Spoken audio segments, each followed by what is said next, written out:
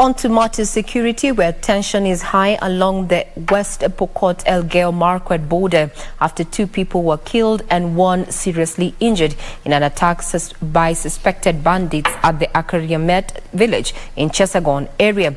The bandits also made away with 30 goats and killed a trucker working for a road construction uh, company operating in the area.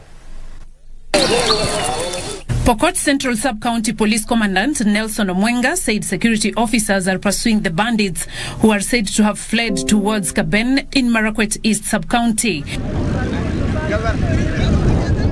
Area leaders led by Sigor Member of Parliament Peter Lochakapong have appealed for calm, calling on government to beef up security in the region. As soon as possible, just bring and recruit NPR from West Pokot side.